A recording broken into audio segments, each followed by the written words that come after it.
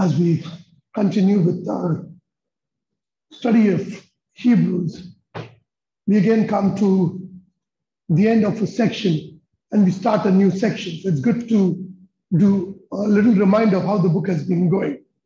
So if you remember when we started with chapter one and the theme of the book we said is to show Christ is greater than everything.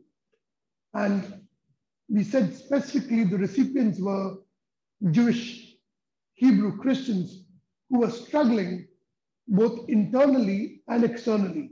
Internally, because of the tribulation and the suffering that they were going through, externally, because of the Jews who were with them, who were forcing them to go back to aspects of Judaism, them themselves getting into confusion about what was right.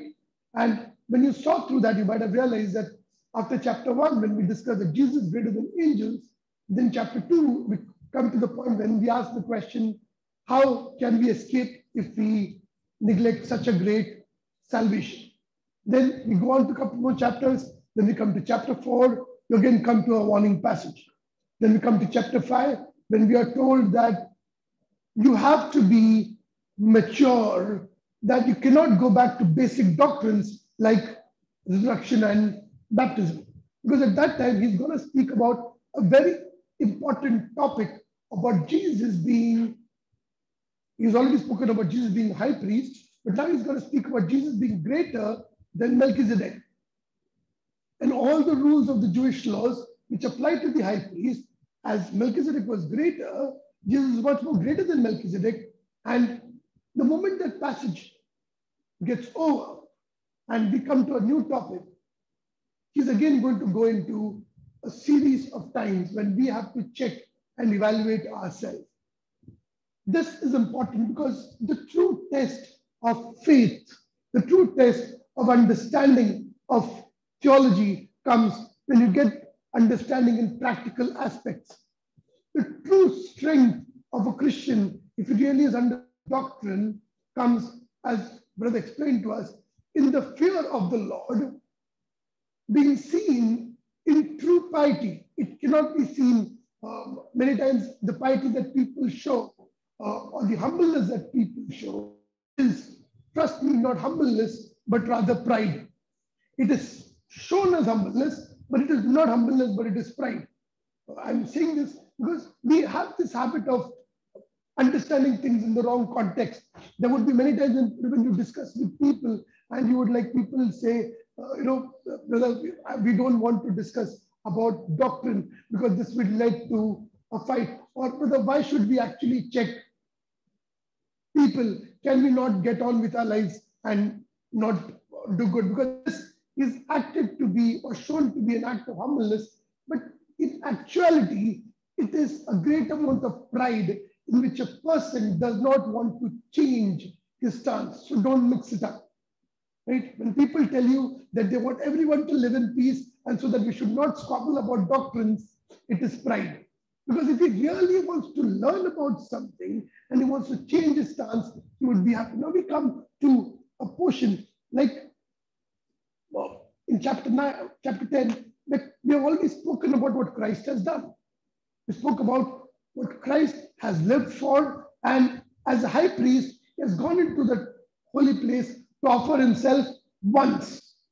Then we spoke from Jeremiah 31 again, and we said that how God has put his word, his covenant into our hearts. That word has come into our hearts in Christ.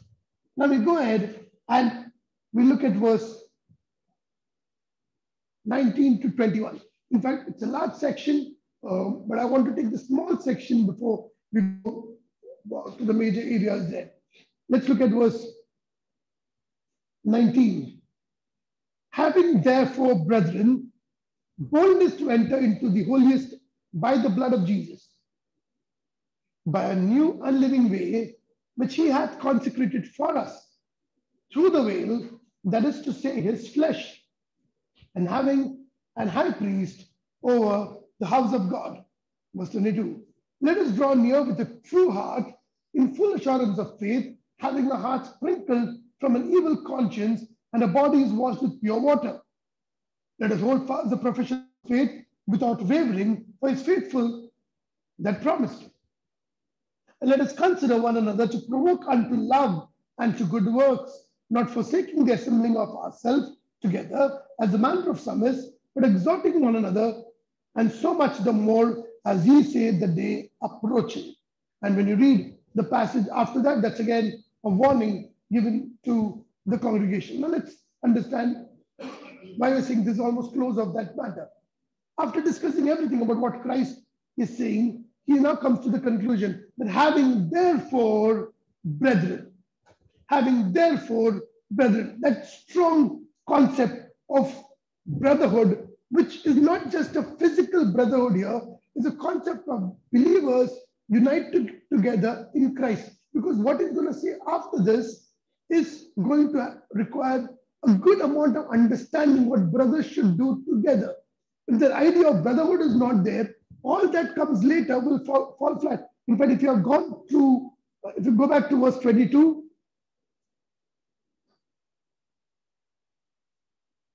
Twenty-two, twenty-three, twenty-four. What are the common things that you read and right at the outset?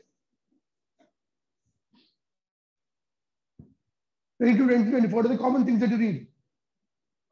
Let us, let us, let us. If the idea of brotherhood is not there, what is going to speak after this would make no sense because if the us is not there, there would not be an idea of working together. So the idea of Christian brotherhood is extremely important in which not only natural affections, but that spiritual affections is seen in a person because it's Christ who's in every person, the Holy Spirit in every person, so that the way we treat each other is understanding Christ being in that person. There's a serious urgency in how we look at that matter. There's a serious urgency how we see a believer in need, both physically as well as spiritually. What is missing in our churches is this urgency towards our brother. What's missing in our churches is this idea of a church and the brotherhood of the church which is out in the open for people to see.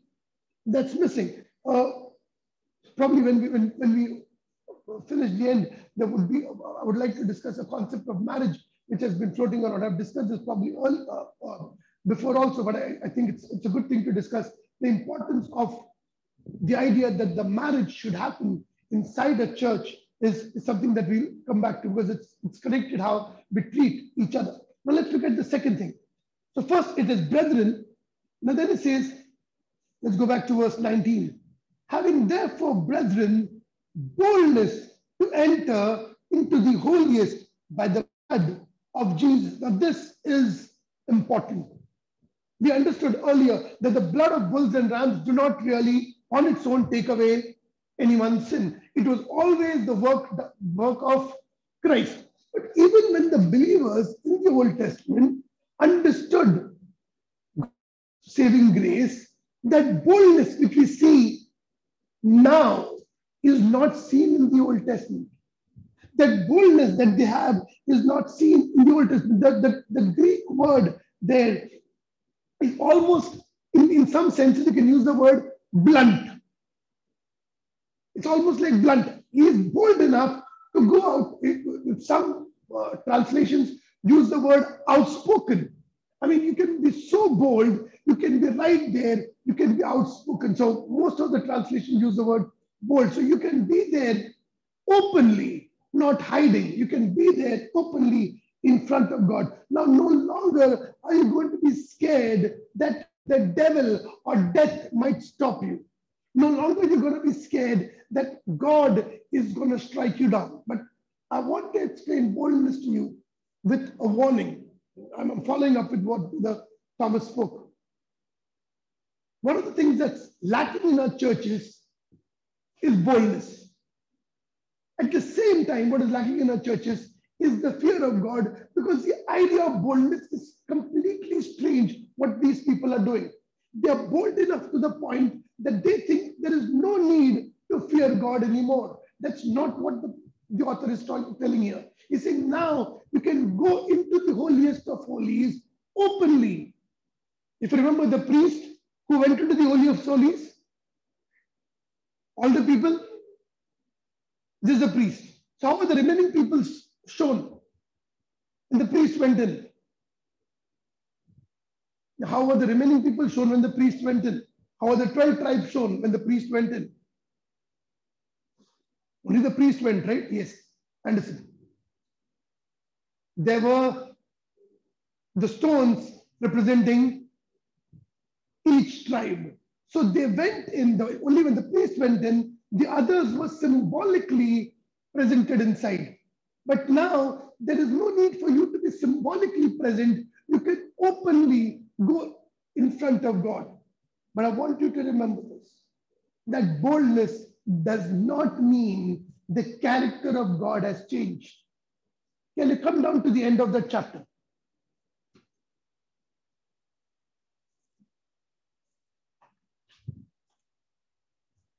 Chapter 10.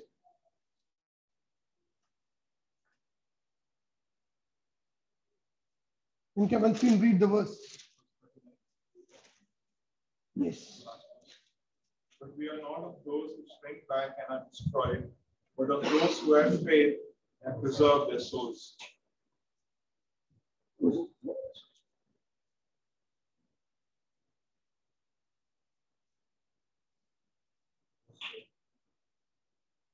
Okay. Uh, chapter 12, sorry, the Lord is the. You have, not the end of the verse, you have in 12, which, or, or towards the end, when you find people falling away and God judging them, it is in Hebrews you'll find that God is a consuming fire. The boldness that we approach God does not change the character of God. He is still a consuming fire. The boldness is something that the Old Testament people could not have. Now, in the morning, we read a passage, if you remember, we read from Genesis 15. Uh, some of you all were not there. If you want to quickly turn to Genesis 15, if, it's, it's one of my beautiful, most beautiful passages for me in scripture. Uh, the late R.C. Sproul uh, says if the entire Bible was ever taken from him and he was allowed to keep one page from the Bible, he says Genesis 15 would be that page that he will keep. We look at Genesis 15. It's an interesting chapter. The Abram, not Abraham, Abram is still complaining. And God makes a covenant with Abram. Right? Now, this chapter, I believe, is very close to Genesis 15. How will come in a moment, but let's look at the passage again.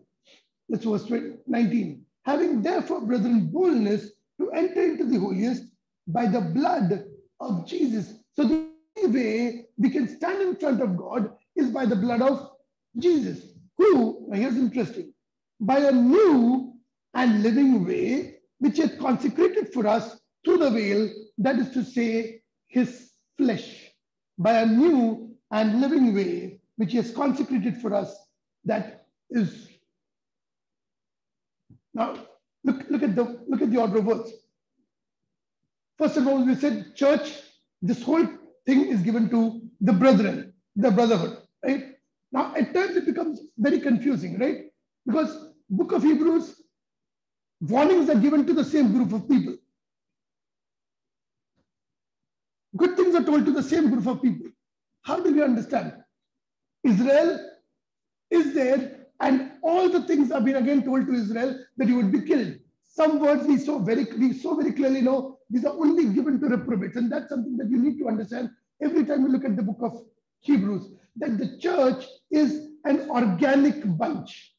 A church is an organic group in which there will be both wheat as well as tares. That's important. One, one of the things that we always need to remember is that famous words from uh, John chapter 15. It says, the vine and the branches. Remember that? If anyone who is in me and does not bear fruit, my father will cut it away. But here's the problem with that verse. How can someone be in Christ and not bear fruit? So we understand that people could be a part of the church, part of the things that the church do, but still would not bear fruit. And so the difficulty of the passages immediately escapes us or immediately goes away from us, when you understand it's a mixed group. So it's a mixed group, we can still give a warning. In a mixed group of a church, we can still tell people, you will go to hell if you do not understand and believe Christ.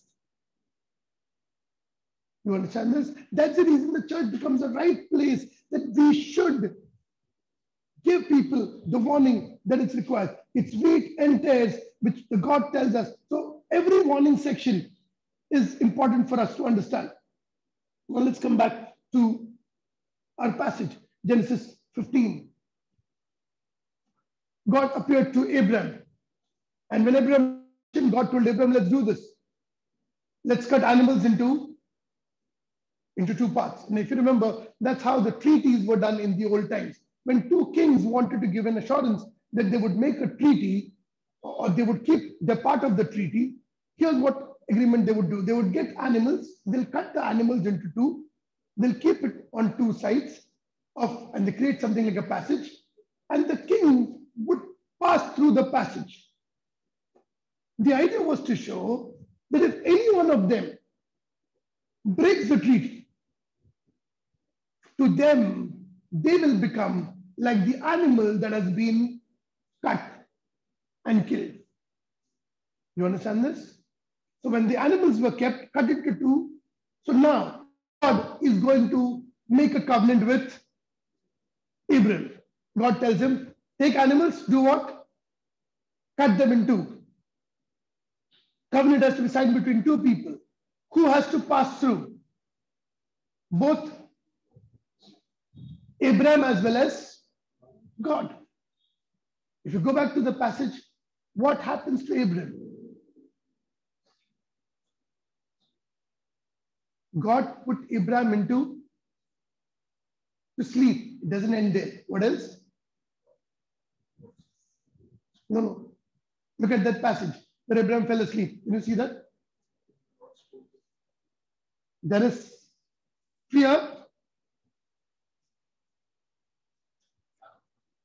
There is, can someone read that?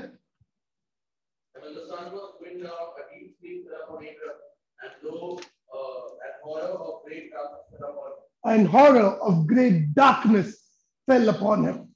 Abraham would not go through that. God put Abraham to sleep, and the whole event was a horror of darkness which was there. And then God went right through that as a fire, indicating what? If the covenant is broken, God would die. You understand that? If the covenant would be broken as if God would be killed, it was to indicate that God in no way is going to break the covenant. In no way, Abraham would not get what God has promised him. Because God says he is the one who is going to be killed if the covenant is not kept. Now come back to our passage. Let's look at the beauty of what is being in front of us. Having therefore, brethren, boldness to enter into the holiest by the blood of Jesus, by a new and living way, which he had consecrated for us through the veil, that is to say, his flesh. Okay, first let's look at the word new. The word new here is only used in the New Testament in this place. It is almost means a freshly sacrificed animal or something which is freshly killed. Now look at almost the, I don't like the word paradox, but look, it's almost two contradictory ideas. A freshly killed, and then you find a living way. The new and living way, a freshly killed, as if Christ was freshly killed for this purpose, so that he can create what a living way for us.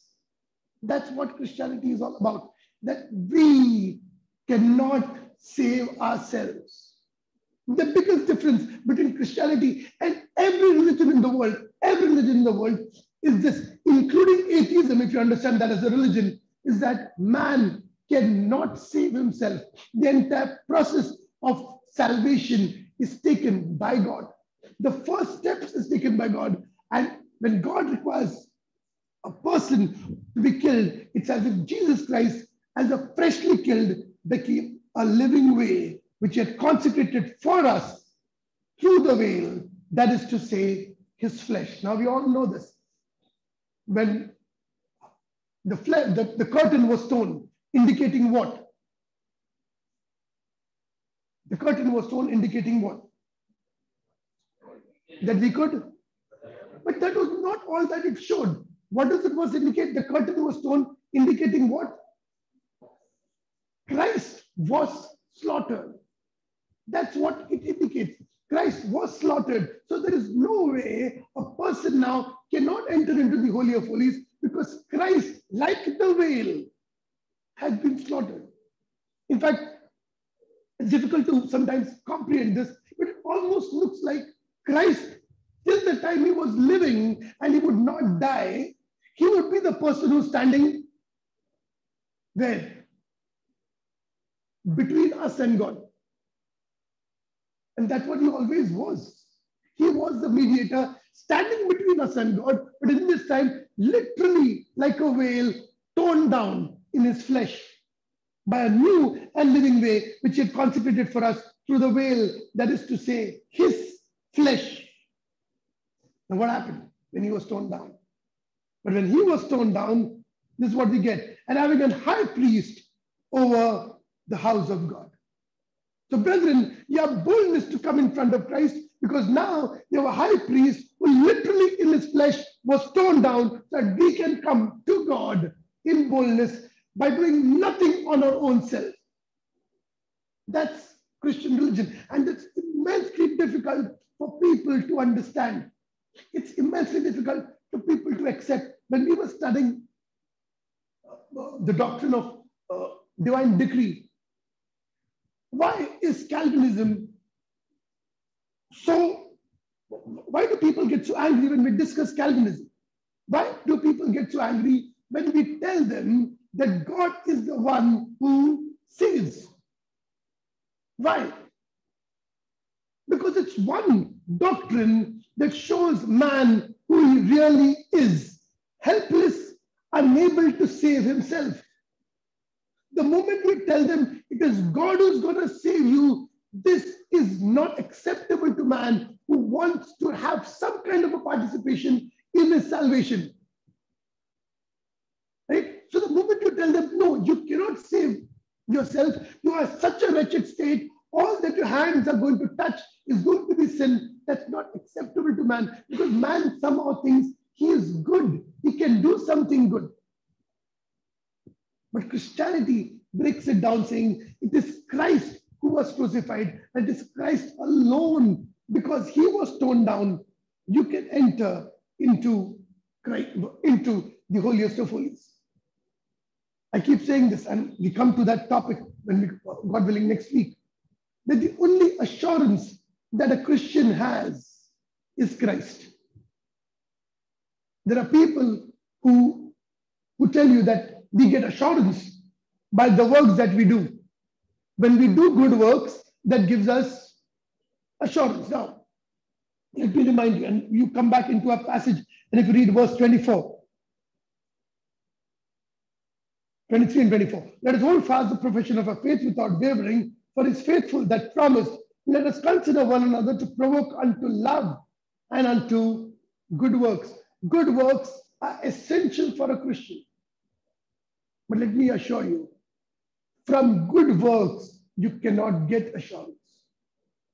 The only assurance a Christian has is in the gospel and in the, in the gospel of Christ. In all that Christ has done. So when you look at the verses, because you know there is a high priest in verse 21. Verse 22 says, Let us draw near with a true heart in full assurance.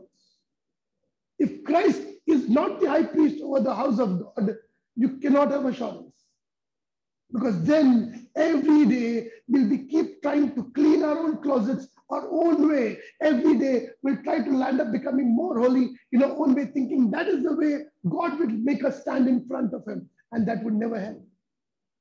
A Christian does what he does because he's sure that the assurance that comes to him comes because of Christ. And let's look at that again, verse 21. And having a high priest over the house of God. That's what we are. We are the house of God. You can call yourself as the kingdom of God. So, what we're going to be learning next week is do you really understand what you are? The house of God. And if you really are the house of God, are you behaving as members of the house of God? As a church, that's what we're going to look at. That we have a role to play in the house of God. There's no one here who can say, I do not have a role to play. And if you read through that, you'll understand. So, as a primer, let's, let's quickly read from verse 21. You will read the whole thing again. Having therefore, brethren, boldness to enter into the holiest by the blood of Jesus, by the new, specially sacrificed and a living way, which he had consecrated for us through the veil, that is to say, his flesh, and having a high priest over the house of God. Let us draw near with a true heart in full assurance of faith, having hearts sprinkled from an evil conscience and our bodies washed with pure water. Let us hold fast the profession of our faith without wavering, for it's faithful that promised. And let us consider one another to provoke unto love and to good works, not forsaking the assembling of ourselves together, as the manner of some is, but exhorting one another, and so much the more as you see the day approaching. A Christian is not someone who can sit outside the church. There's, there cannot be a Christian who does not think that the church is not the center of his life, not peripheral. Not peripheral.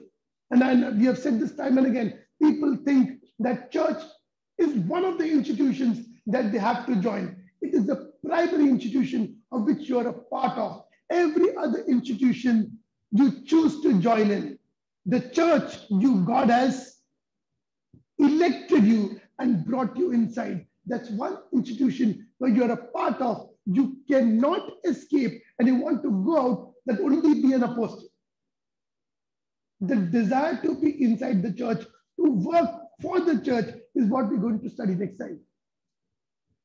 As a passing, what we spoke about about marriage. Um, I, spoke about this earlier, but I wanted to get in this, this context uh, here.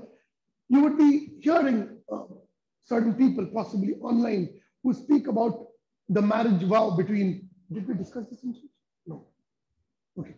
Uh, uh there was someone uh, in from from our earlier churches were there with us, uh, Silas, if you remember, and uh, so they have a doctrine that if two people are mature enough in Christ, and if they give a marriage vow to each other, if the man gives a marriage vow to a girl and the girl gives a marriage vow to a man and says they agree to marry each other,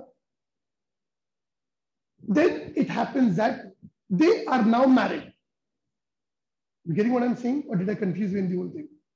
That means a girl and a boy together, if they decide to get married and they promise each other that they are going to get married and they're given vows to each other, they're Christians, then they are married. Yes or no? I mean, we have got already fathers of daughters here who would be thinking what is the kind of rubbish this is going to happen. And it's going to be an absolutely scary time to think of. Right? Is it really a marriage? Why not? They're Christians. And for a Christian, a yes should be yes and a no should be no. So why is, if a girl and a boy promises that they have to get married, shouldn't it be considered to be a marriage? And people do not know which side to turn now. Wouldn't that be better? Why is it required? No, I'm saying, why is it required? I'm playing the devil's advocate on the other side.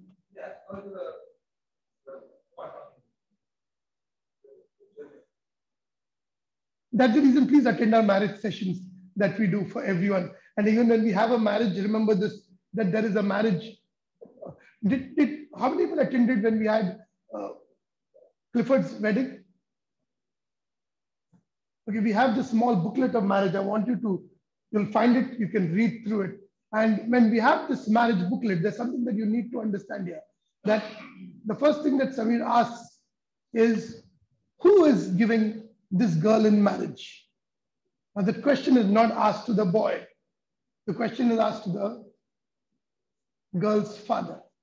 Who gives the girl in marriage is the father. If you remember the Old Testament, there was a rule. Even if two people come together for marriage, the girl goes back and tells the father that she wants to get married to the guy, the boy. The father would evaluate the person, see how he is working, look at the amount of money that he has, and then if it does not like that person, he would say, no, that marriage is not going to work. Marriage is a covenant between two people which could be seen. What you saw here was the idea of boldness. I said it is public, it is not done in secret. When a boy and a girl will tell each other that they are going to get married, and when this question was asked, my immediate response was maybe you have seen too many old Hindi movies. When two people, even when the priest is not there, marry in front of the temple, in front of the idol, and then they decide that now they are happily married. And then you have a whole list of agony that goes back. A boy who does not want to show his wife in front of the people does not have good intentions to begin with.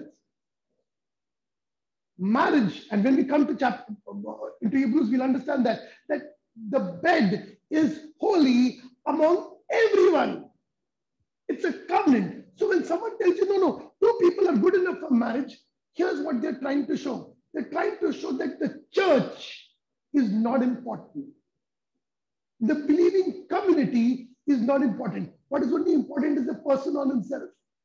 Marriage gets its sanctity from the covenant, from the house of God in which it stands. You understand this? Now, the first statement that there are two people, two mature people, their yes should be yes, their no can be no, they're Christians, it's piety, it's false humbleness. It is not obeying what the Bible tells you to obey.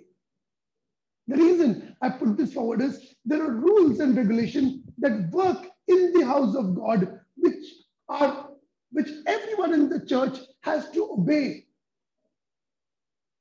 So when we come to the passage that we're talking about next time, it is not a simple choice that I choose to do this or I do not choose to do this. It's, it's my choice whether I really want to be a part of this, of this activity. You cannot be. You are in the church, you're a part of the household. You cannot say a particular activity of the church does not affect you. It just cannot be. Sadly, the way at least we are functioning right now, a lot of things are still wanting. The way we are functioning right now, we hardly see each other more than a week. Once in a week, that's all that we meet. A few of us again meet for the Bible study. That's not even a right way to function. But as a family, the church will have a responsibility, each other, to build each other up continuously, and no one can say they're not a part of it. But why does it all come to? Let's go back to our text and let's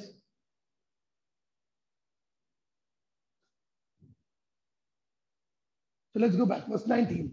Having therefore, brethren, boldness to enter into the holiest by the blood of Jesus, by that which is dead and living, which he had consecrated for us through the veil, that is to say, his flesh, having a high priest over the house of God.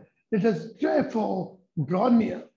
Let us therefore assemble. Let us therefore do everything to build each other up. Are you really believing in Christ? What is your view of the church of God? If you really believe in Christ, what is the view how the church gets built up? The Belgic Confession, one of the creeds that we strongly follow, makes this very important statement. It says this do not interact or do not be with people who do not go to churches. Right? This is not about an unbelieving person. This is supposed to be about a believing person who says a believer but does not become a part of the church. And the Belgic Confession says, do not be with that person who does not think church is fundamental to his life, because that will destroy your own. We are Christians because God has given his son whose body was torn on the cross to make us as the household of God. And since we are the household of God, all that we're going to do from now on, what we're going to speak about now on, we'll have each one a role to fulfill. Let God enable us to think about our roles as we study that further. Let's put the Lord in prayer.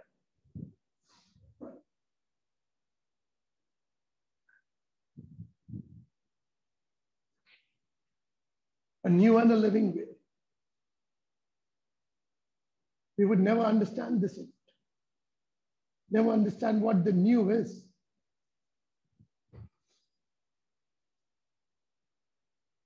A freshly killed sacrifice. So we could never come to you. We who are thrown out in every manner could become a part of the church of God.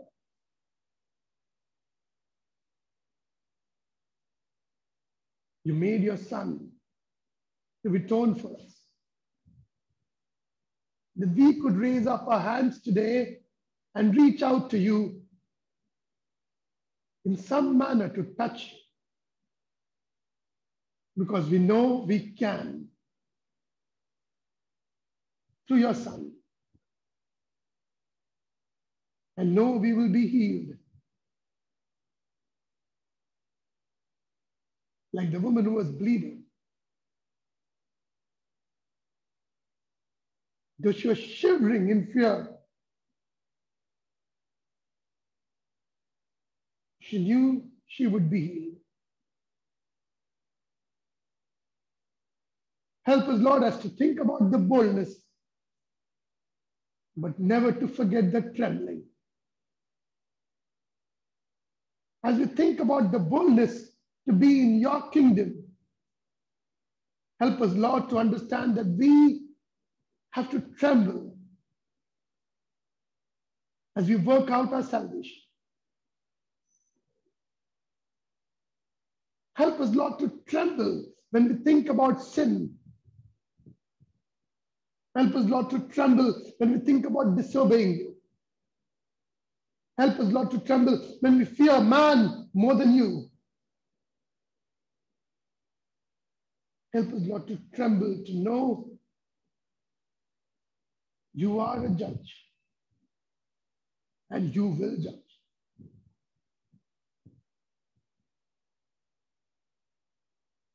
And each heart here, O Master, get the boldness of knowing your Son has died for us and we are washed. We can come within the veil with boldness for nothing that we have done, but what your Son has done. Let no man made religion take away the joy of Christ from us. Let our assurance be your Son, His work. That's the gospel.